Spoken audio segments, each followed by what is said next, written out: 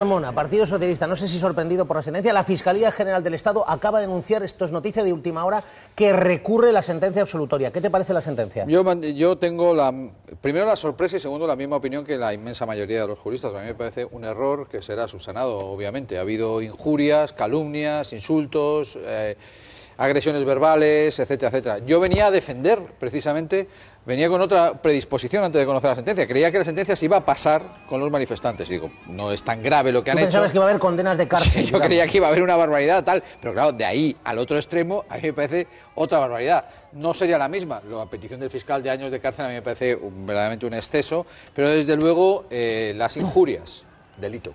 Calumnias, delito. Pintar con una esvástica detrás en, la espalda de una diputada, falta, ahí, eh, ahí se ha reconocido como falta. Pues evidentemente esto no, no, se debe consentir y debe tener una... Desde mi punto de vista, yo no soy juez, pero coincido con la inmensa mayoría de todos los juristas con los que he hablado y algunos de las asociaciones de jueces en los que dicen que tenía que haber habido una cierta condena. será un error y evidentemente se subsanará. Íñigo Rejón, Podemos. Ese día se votaba en el Parlamento de Cataluña, eh, como recordaremos todos, la ley Omnibus, que mm, todos los sectores de la sociedad civil catalana denunciaban como una ley que erosionaba gravemente algunos derechos fundamentales para ser ciudadanos. La sanidad, la educación, em, ayudas también sociales contra la exclusión. Era en general una ley eh, extraordinariamente agresiva en ese sentido también pionera, o sea, más puntera en los recortes de lo que se había desarrollado hasta ahora, iba más allá que diferentes sectores habían denunciado como que era una ley que rompía el pacto de convivencia. ¿Por qué rompía el pacto de convivencia? ¿Era legal? Sí, si se votaba en el Parlamento era legal. Sin embargo, atentaba contra algunas de esas cosas que permiten vivir una sociedad más o menos cohesionada, que es que no, no vivamos en una sociedad del sálvese quien pueda.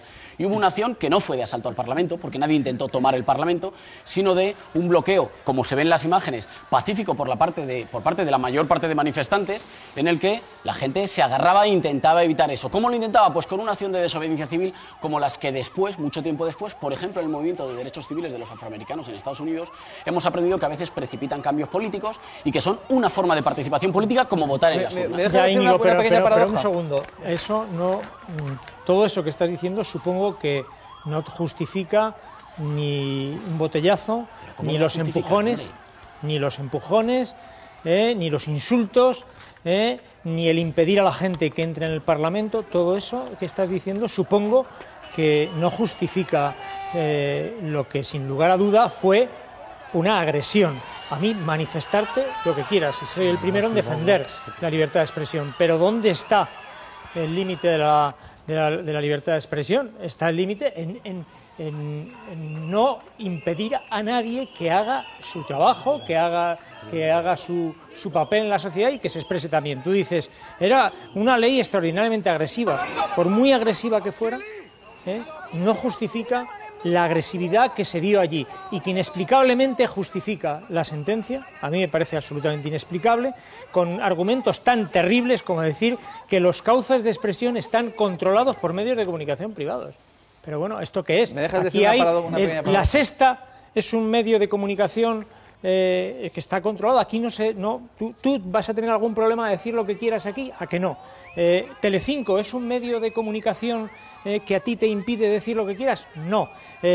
Cadena Ser, la cadena Ser es un sitio donde no podéis tener libertad de expresión para decir lo que quiera, donde la sociedad nos expresa. Yo en la cadena Ser oigo cantidad de expresiones de todo tipo, contrastadas. En fin, el país, el mundo, por favor ¿Pero de qué estamos hablando? Entonces lo tendrías que preguntar al juez, que es el que ha redactado la sentencia. Es pues por eso digo que estoy en contra de la sentencia, no en contra de lo que de, lo que, de ti, como tú comprenderás. esto, esto te lo tendría que responder el juez. Ahora bien, Hemos vivido en nuestras sociedades un proceso por el cual la mayor parte de la gente tiene muy poca capacidad de intervenir en política, una vez cada cuatro años, mientras que hay gente que acumula mucho poder que interviene en política todos los días. Esto es difícil de negar. Es difícil de negar que todos los ciudadanos no tenemos la misma capacidad de intervenir en política. Esto es, es obvio, porque hay ciudadanos que votan una vez cada cuatro años y hay otros que votan a diario con las llamadas, con las relaciones, con la relación con poderosos. Ahora bien, quienes no tienen más que la capacidad de intervenir en política una vez cada cuatro años, a veces se organizan protestas y fruto de esas protestas, fruto de esas, como las protestas de las sufragistas, que no eran todas simplemente marchar por una calle. Pero 200, 300 personas pueden, porque tienen esa necesidad de expresarse. 200, 300, 400 personas pueden secuestrar la voluntad de los representantes del pueblo en la Generalitat, por mucho que no te guste la ley que se está votando, que a lo mejor a mí tampoco me gustaba nada. pueden secuestrar. Ramón Saez ha dicho que sí. Eso, ¿eh? eso es democrático. Ramón Saez ha dicho que sí. ¿Eso es democracia para ti? Pero a mí me parece que, sí, parece que, secuestraron. A mí me parece que esas personas que no secuestraron ninguna voluntad popular, que no pudieron. Lo que Oye, los diputados tuvieron que entrar en tanqueta, Íñigo. ¿eh? El Artur Mas, presidente de la Generalitat, que no es precisamente em, santo de mi devoción, tuvo que venir en un helicóptero. ¿A ti eso te parece normal? Lo que, lo que en mi opinión secuestra la voluntad popular es que con independencia de lo que voten los ciudadanos, se hagan políticas siempre al servicio de los privilegiados. Con independencia de lo que salga de las urnas y que la soberanía de los parlamentos esté al servicio de lo que instituciones no elegidas por los ciudadanos como la Troika. Eso me parece que atenta contra la soberanía popular, que es el respeto a que sea la gente libremente con su participación y su voto quienes decidan las políticas. Y es muy difícil negar, hoy en día en nuestro país, es muy difícil negar que las leyes las emanan de lo que dicen los ciudadanos, porque funcionan muy a menudo en contra de los intereses de la mayor parte de los ciudadanos. Y por otra parte, con respecto a los tipos penales que les sean aplicables, que no soy jurista, los lo, ha, dicho A ver, permitidme, eh, que estamos recibiendo reacciones, es polémica, muy polémica la sentencia, tan es así como que el fiscal general del Estado ha dicho ahora mismo que la va a recurrir y tenemos más novedades. Beatriz Zamorano, bueno, la Generalitat catalana ha dicho alucina vecina, ¿no lo entienden? Sí, dicen que esta sentencia, lo ha dicho Ramón Espadaler, conseller de Interior, ha generado cierta sorpresa en la Generalitat, que le preocupa que de esa sentencia precisamente se pueda desprender la idea de que casi es responsabilidad de la policía que se produjeran los incidentes. Dice que la Generalitat ya está valorando el, eh, bueno, el recurrir esta sentencia ante el Tribunal Supremo y tienen exactamente cinco días para ello. Antonio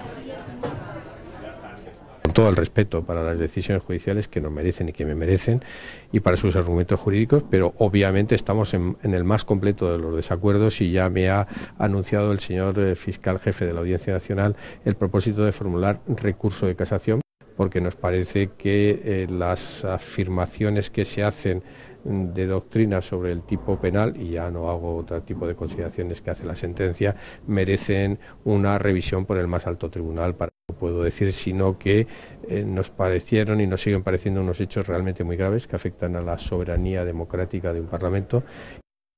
Bueno, la Generalitat de Cataluña dice, manifiesto mi extrañeza. Y Eduardo Torres Dulce, aquí acabamos de escucharlo, eh, Manuel Rico, fiscal general del Estado, dice, vamos a recurrir de inmediato. Bueno, a ver, las la posición de la Fiscalía me parece lógico, son los que acusaban, es lógico que recurran, ¿no? A ver, Carmona, yo, discrepo, creo, que estoy en una situación intermedia sobre lo que he escuchado en esta mesa. Yo estaba. Yo discrepo de, lo que dice Carmona, por ejemplo. ¿Compartes o no la sentencia? No, a ver, es que no es un sí o un no, hay cosas que... Déjame, Carmona ha dicho, aquí hubo eh, insultos, injurias, calumnias. Eh, eh, malamente podían condenarlos por eso porque nadie les acusaba de eso, ¿vale? Se les acusaba... No digo que hubo, ¿no? Que les acusaron. No, bien, pero entonces no les podrán condenar por eso, ¿vale? Se les acusaba de cosas tan extrañas como asociación ilícita, ¿vale? O sea que eso yo creo que es evidente que no hay asociación ilícita. Ahora, el atentado a las instituciones del Estado, a lo mejor. Carmelo saca una frase que a mí me parece ¿Cómo que a lo mejor? Eh, Rico, por favor, no puedes pasar pero de lo que yo he dicho y decir a lo mejor. Carmona, te he escuchado tranquilamente, ¿vale? Pero me he calentado. La frase más polémica es probablemente la que citó...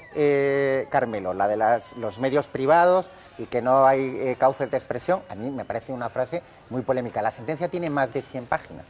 Hay otros elementos que se basan, eh, que basan su argumentación el, juez como que la democracia se sustenta en la crítica.